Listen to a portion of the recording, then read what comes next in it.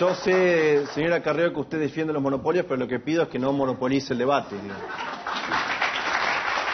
La verdad es que... No se preocupe que nunca voté una en ley el Clarín y ustedes usted en sí. el año 2003... Ustedes sí votaron las ¿Me- leyes de me Clarín.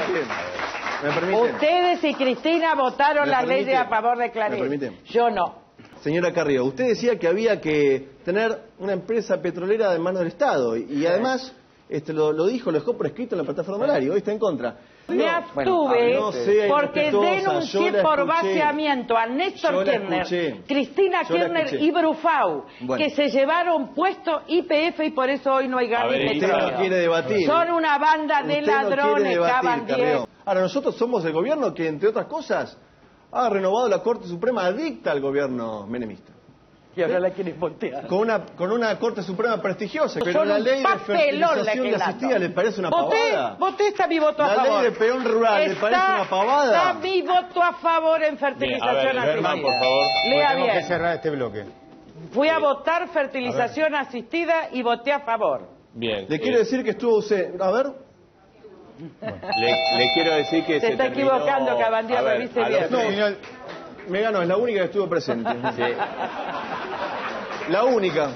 Y la verdad que nosotros lo que tenemos que hacer es ponerle valor a las materias primas. Y sobre todo, sustituir producción nacional por importación. Y sobre todo, sustituir producción nacional por importación. ¿Denunciaste vos a Cristóbal López, a Lázaro Báez, a Cristina Kirchner, a Néstor Kirchner y a todos los que saquearon y robaron este país? Yo lo hice. Y por la ley Carrió es que hoy está siendo acusado de la Rúa. Nunca lo denunciaste a debido.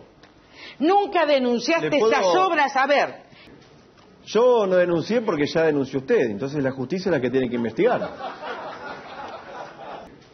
Yo no denuncié porque ya denunció usted, entonces la justicia es la que tiene que investigar. Y las personas que están en su lista son también artífices de delitos, de manejos descomunales, como lo que pasó históricamente en la Facultad de Económica, como lo que pasó Denuncialos. en los centros de estudiantes. denuncialo. No, yo creo en la política, yo quiero ganarles. La- para ir a la justicia está usted. Denunciar. Yo quiero Bueno, ganarles ver, políticamente ver, con los ver, votos. Carrió.